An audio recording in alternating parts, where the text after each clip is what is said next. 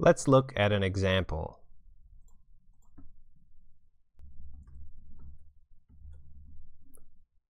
Here you can see the beige box is being controlled by the arrow keys.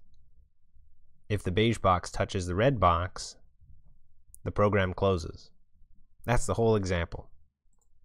And here's the source code. I'm using lists of two elements to store the player coordinates, velocity, and acceleration.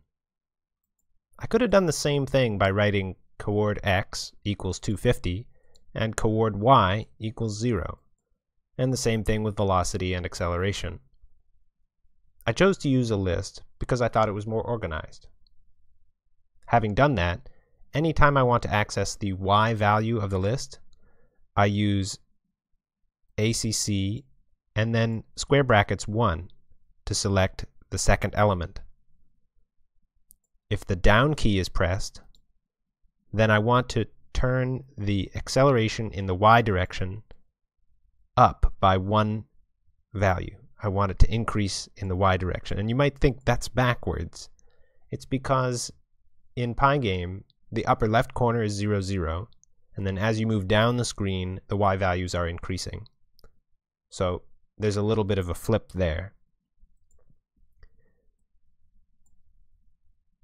Then, when I specify the new velocity, I take the old velocity's x value and add the acceleration in the x direction, and I take the old velocity's value in the y direction and, and add the acceleration in the y direction, and together those form a new list with two elements in it.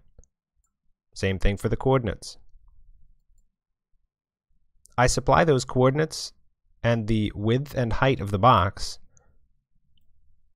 to the, to the function pygame.rect, which produces a new object of type pygame.rect.